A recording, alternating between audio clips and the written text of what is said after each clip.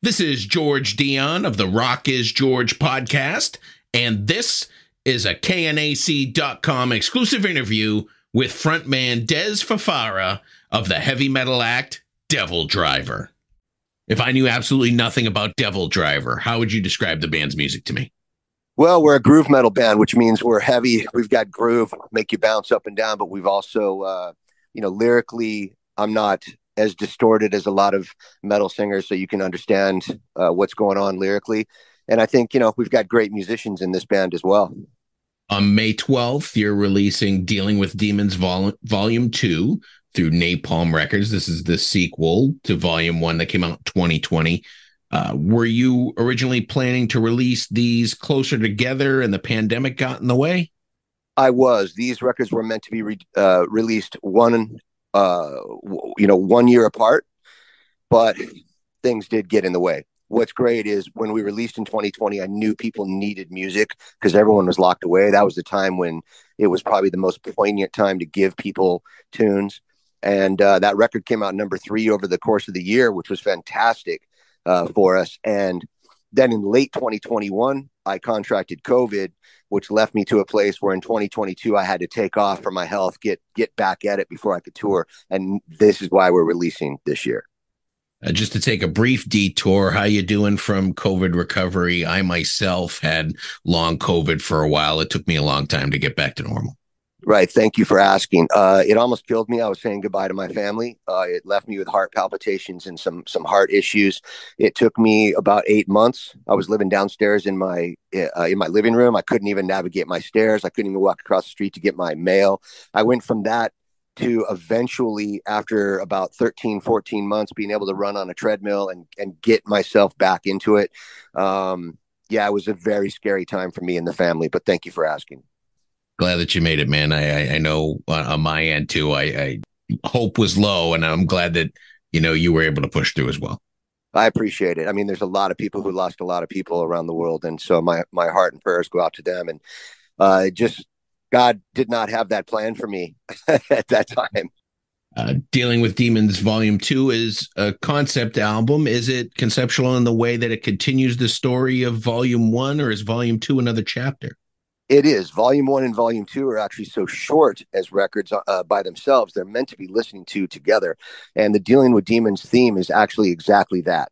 Everybody faces the same demons. It doesn't matter if you're a grocery store worker or a singer in a band, right? We all face like we want to get sober. We face uh, the the people in our in our lives that stab us in the back. We uh, the people in business that that the misdoings, misgivings that go on around our lives.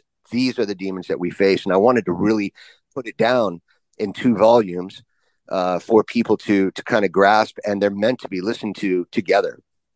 You've released a couple of songs ahead of the album. One of them is "Through the Depths." Uh, do you want to talk a little bit about what this song is about, or are you one of those uh, artists that prefer the listener make up their own mind?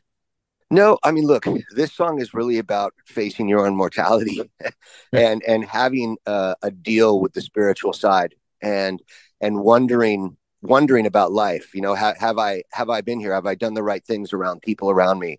Uh, what happens uh, when we part this world? So you can read into this song many things but that's in general what it's about. And about how there's also a beast within all of us that we've got to maintain and keep control of. So in the video if you watch it uh, we all turn into certain characters. Uh, you know one is a pig and one is a goat and one is a and it's and it's meant to kind of kind of take you along those lines of hey we can all turn into the beast but we've got to we've got to watch ourselves down here on this plane. Now the song you have out if blood is life one of my favorite songs from the album. Uh, this is sort of like continuing the thought that you, that you know live now while the uh, you know time is fleeting Absolutely. I mean, the chorus is a huge open chorus. I'm, it's very rare for me to do this kind of a chorus. You know, time, uh, it's here for the taking. Time, and yes, it's about that. It's about live here, live now. I think if you live too much in the past, you don't think about your, your future. If you live too much in the future, you're not thinking about the here and now. There is a, a, a time in your life which should be right now that you're living in the here and now um, and and stop trying to reflect so far back or worrying so far in the future because you're missing the point and this breath uh, this lunch today, this hello from your significant other, uh, your cat running up on you. Like, enjoy the moment and enjoy where you're at in life at this very time. Are you planning another single release or video from the album? We are. We're planning another release uh, called This Relationship is Broken, or This Relationship Broken, rather. And it's coming out uh, right before we release the record, which oddly enough is my birthday, May 12th. So I'm thinking this is going to be some good luck here. Even more oddly, it's my birthday as well. Oh my God, are you kidding me? This is fantastic. Fellow fellow Tauruses celebrate. Yeah, man. Awesome. Happy birthday to you uh, well in advance. Same to you, man. Uh, wives nervously laughing in the background.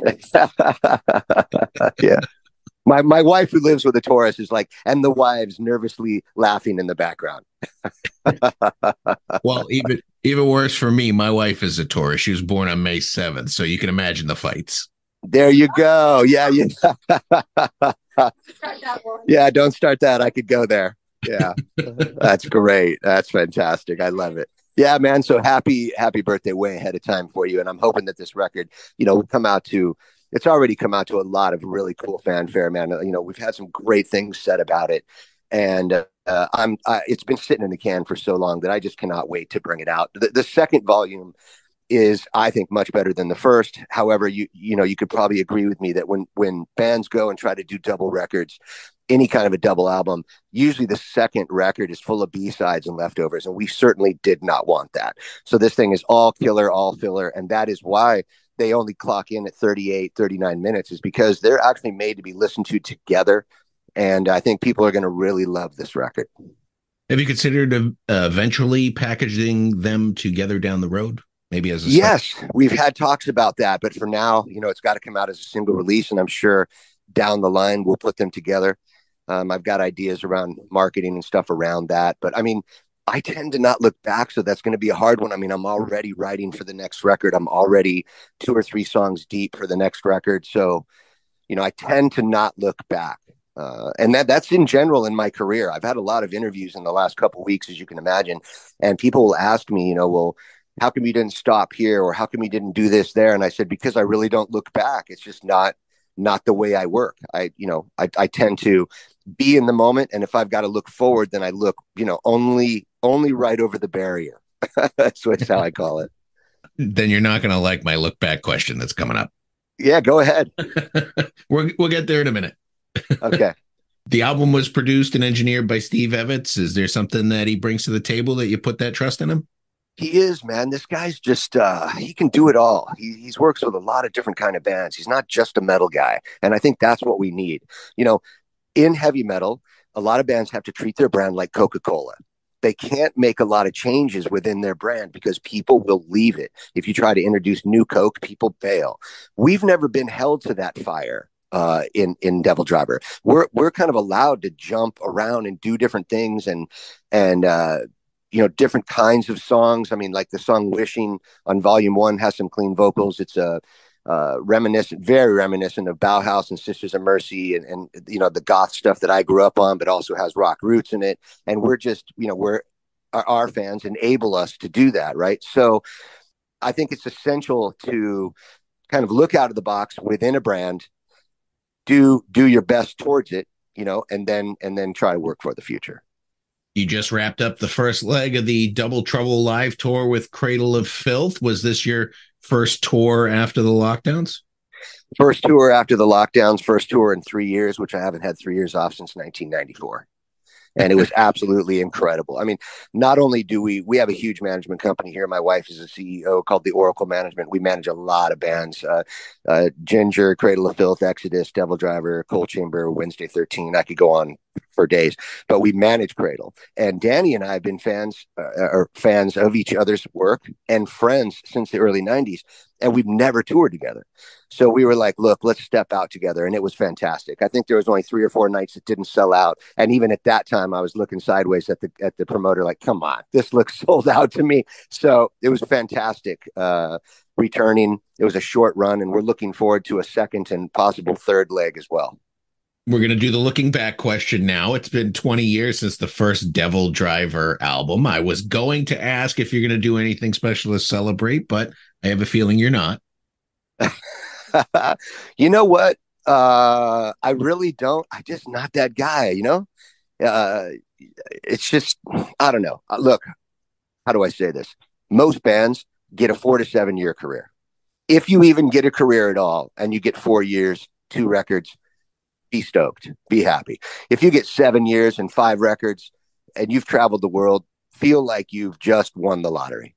But if you get, like I said, I've been around from Coal Chamber since 1994 up till now, and you get 10 records in with Devil Driver, over 20 years with Devil Driver, it's a miracle given to you, right? You should be grateful, humbled, appreciative uh, of every moment that that brings you. And then that's another reason why I don't look back because I want to keep moving forward with the Devil Driver sound, keep putting out records. And hopefully, you know, hopefully I've got another 10 years in me and hopefully the fans will have us for that length of time because I'm, we're enjoying it and the band's had some great success over the years. So I'm appreciative to anybody who's ever bought a ticket, bought a record, bought a, you know, bought a t-shirt or come, you know, give me a handshake outside the bus. I mean, it's a, uh, it's a miracle, you know, when, when this kind of a thing can happen. So your birthday weekend this year tends to be a busy one. You have the release of Dealing with Demons Volume 2. You have your birthday, of course, and then you have a show with Coal Chamber at the Sick New World Festival. I do getting to play with System and Korn, our old friends, and uh, uh, obviously a lot of people from the '90s. Um, we're excited to get that call. I'm excited to do that show uh, Coal Chamber got back together because when I was on my deathbed with COVID, my wife actually called them and said, Hey, we don't know if Dez is going to make it through. You should probably call and say hello. And they did. And they ended up checking on me daily for almost a year before someone mentioned, Hey, do you want to do a show? And so, so the, the camp within the camp, the energy is great. I, I mean, better than great. Um, and getting ready to do that show is going to be huge in Vegas. So I'm very excited. And and right on my birthday weekend, right on the release of Dealing with Demons as well. It's like it's just a kind of perfect setup, man. Is there a chance at future shows with Coal Chamber or maybe some new music? Well, we are doing a tour in July and August, an amphitheater tour with Mudvayne, who I'm sure everybody knows as well. And uh, it's going to be interesting. It's going to be a good time. And there's a bunch of other bands on that. I think Core, um, Nonpoint, Butcher Babies, uh, but but we're main support to Mudvayne, and you know, amphitheaters all summer long is not going to suck. It's going to be a good time. Are you planning a follow up to Outlaws till the End, Volume One? I'd love to, but that record almost drained me. Really? I mean, both mentally, physically, and and monetarily. So, for people who don't know, Outlaws till the End is an outlaw cover country record done heavy metal style, the first really of its kind by Devil Driver. And I was told early on that, man, you shouldn't do this. You know, you're going to ruin your career if you go cover, you know, Whiskey River by Willie Nelson. If you cover a Johnny Cash song heavy, like this is not going to be good for your brand. But I had a vision for it, right? So we have Randy from Lamb of God, Lee Ving from Fear, John Carter Cash, Johnny's son, Hank Three, uh, a lot of guys from heavy metal, uh, Wednesday 13, like a lot of guys from metal and a lot of guys from, from outlaw country on that record. And that thing came out, it charted high, it did well, and proves the point with any kind of art, whether you're a painter or you're, you know, a musician, do what you do from your heart do what you do for yourself. And I happen to love that real outlaw country stuff. I think the lyrics are real visceral. I mean, they're heavier than heavy metal at times, to be honest with you. So, uh, doing that record was a great time. Took a lot of energy out of me. I actually put a lot of my own money into that record to, to get it done.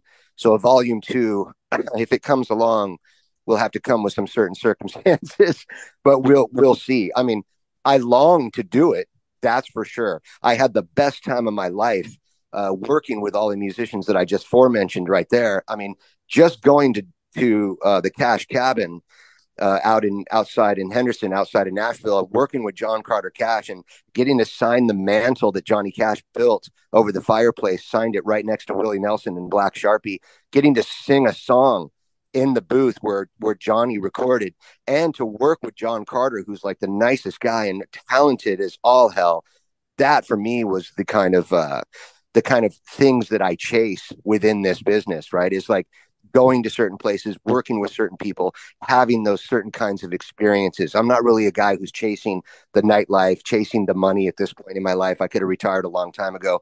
I'm chasing things like that. And, you know, working with Lee Ving from Fear, uh, I grew up on punk rock and psychobilly and goth way more than I did metal. I actually got into metal because I found Motorhead and thought they were a punk band until I saw they were all long hair and this and that. And that led me down the road of getting into heavy metal. So that record was interesting, Outlaws till the end. And, you know, for, for the fans that don't know, you know, go take a listen, go to Spotify, go take a listen. There's a ton of guests on it. And it's a heavy, heavy ass record for sure. But I mean, Whiskey River from Willie Nelson has never sound better than me and Randy from Lamb of God on it. I'll tell you that right now. Do you ever think of making that crossover into movies, much like Lee Ving has?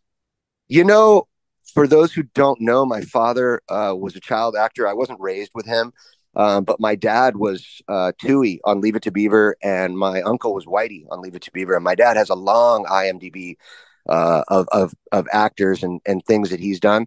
Yes, I have thought about going into it. Uh, my wife has talked to a few acting agents and uh, we'll see. I'd, I'd, I would like to to be in a western. To be honest with you, uh, you know, dirty and blacken my teeth up and give me a shotgun and a black hat and put me on a horse. Like I'm in. You know, I'll do it for free at this point. You wouldn't want to do something wholesome like Leave It to Beaver. Come on. it's pretty strange, right? I mean, a, a great story from that is when Coal Chamber did the Fiend video, we were on the Universal lot filming at the Munsters garage. That was where we filmed that video for Fiend. And um, the house that they gave us that day to do our makeup and all this stuff to get ready to be on film was was the Leave It to Beaver house, man. So I spent my whole day in there with a team where my father had spent his youth. You know, probably one of the most, if not the most iconic show in American history uh, next to maybe even the Brady Bunch, let's say, right? So, yeah, just some real strange coincidences. Um, even when I moved out here, I live in the IE. I live out in Murrieta area. Uh, I found out my father lived like four miles from me. So we've ended up uh, to be close friends, and and it's wonderful to to get close with him again. And so yeah, the acting bug is definitely within me. I just have to have the time, and I'm also very private. I'm a complete recluse, so that kind of thing is it's it's hard for me, you know. And obviously, you know that that that recluse aspect uh, kind of helps you with the music. I would think. I think it does for sure. Um, introverts tend to make great art. That's whether it's music, painting, sculpture, you name it. And uh, I've just always been that kid that's not been great in a pack of kids, right? It was I was never like, can Johnny come over and play? I was always like, hey mom, tell Johnny to get the hell out of my room. You know, send Johnny home, right? And so I've I've kept with that uh, my adult life, and you know, although it's kept me from doing certain things like you know i'm sorry i missed the grammy party but i don't really feel like socializing or sorry i missed you know the wedding but sorry it's kind of weird for me to come there's going to be hundreds of people there and you know, and it's just an introvert thing. And I think, you know, my wife of, of almost 25 years has had to deal with it. And she's kind of, uh, you know, she works with it. You know what I mean? Those are all the questions I have for you today, Dez. The new album, Dealing with Demons, Volume 2 by Devil Driver, is out May 12th through Napalm Records. Uh, great album. I enjoyed it. And it sounds like you're living your best life, man. Keep it up. Thank you, man. I appreciate you. And look, I grew up on KNAC, man you know? So you know i remember the first time i ever came into the KNAC studio was with fear factory back in the early 90s so i appreciate you guys giving us some support man and you've been there for a long time uh, in my life. So you know just just thanks for that. And to all the listeners you know enjoy the record enjoy your life. You never know when the end is coming. So go eat that meal today. Go kiss somebody that you love. You know put a smile on your face if you're breathing and uh and enjoy life Absolutely. And thanks for the kind words and thanks for your time today, Dez. No problem, brother. Take care.